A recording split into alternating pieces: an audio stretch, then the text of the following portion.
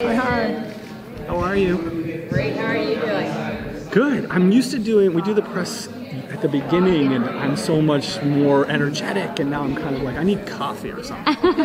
but for you, you're going to ask me questions that are going to get me excited, right? Great, being able to Did you see it? premiere. Yes. yes. Great. All of you saw it. Yeah. Most of you. Some of you. Okay. I did One not of the get to see it. One Not of the things that struck me. April 30th.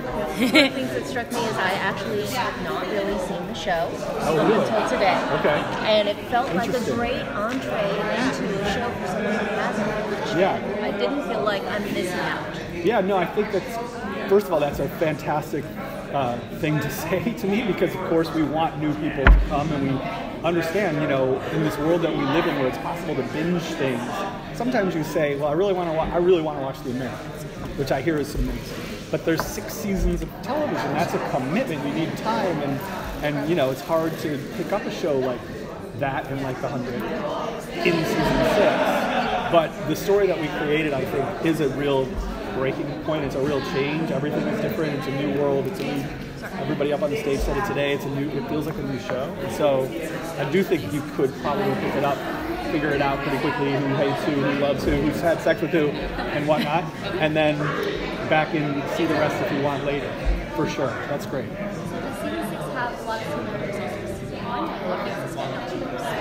Well, it, it's funny because it's similar, certainly, in that our heroes land on a new planet, right?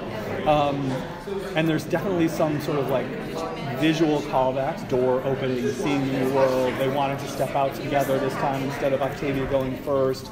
Miller has this sort of sassy line about anybody have anything better than we're back bitches, which is one of my least favorite lines that I've ever written. Um, but you know, it was also a chance. Like, I feel like the pilot episode was not uh, real um, representative of what the show ultimately became. I mean, it was very different. We were still trying to figure out, you know, would the CW let us go as dark as we eventually went? And the answer, of course, is yes. And so I think roughly, I've said this before, but roughly episode four of season one, hanging Murphy, Charlotte jumps off the cliff, spoilers, um, is kind of when we found our, our, our tonal groove, anyway. Um, and so this was an opportunity to be able to like do it again the way I wish we could have the first time, in a way. What was it? I mean, it seems like it was a very challenging. And like, I mean, last season was great. So how do you top last season? You know, with this season, you know, as far as all the stuff that happened last season, like crazy. Yeah, well, I mean, I feel like that every year. I'm like, oh, how are we like, we just blew up the world again. You know, what are we gonna do for an encore? Um, but for me, anyway, I always have approached it as, oh, want to stay with me? No. No, just photobomb me. Rejection. Um, I've always approached it as a new movie every year, a new book. You know, I, obviously we haven't referred to it that way until this time, which is, I think, you know, saying a lot in the sense of if every season is as different as it is, and this is a new book, imagine how different this is. So we really, like, I retooled the writers' room. I, I, I, some people left because they had other jobs. Other people, I just wanted to bring in some sci-fi uh, voices, and it was just time to, to, to change a lot, and, and we did.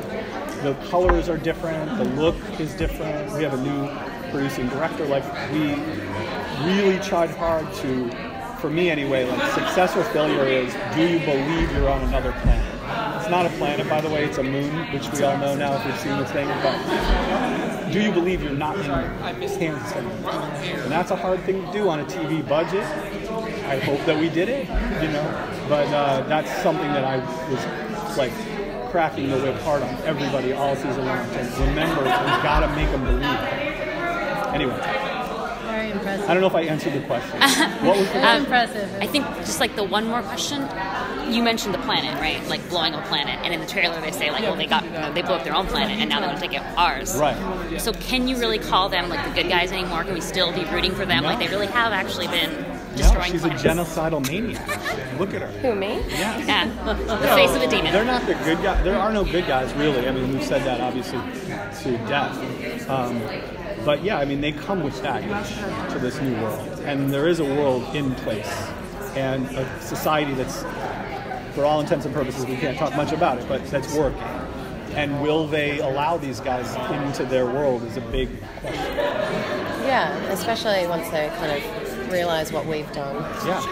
to the Ruined lost their world. plan. Yeah. Yeah, and he real Russell realizes that there's rapists and well, no rapists, but there's murderers and uh, thieves and criminals up their sleeve too. Are they going to invite them in? Do they believe in rehabilitation? You know, uh, that's something that you have to grapple with as the leader of this new society.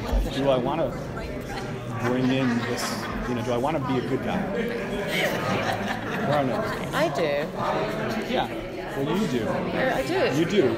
Clarke's journey this season is she really, really wants to do better. She wants in to ode to like Monty and Harper, like giving us this brand new chance, I think you know it's it's really important to her. So we'll see how that goes.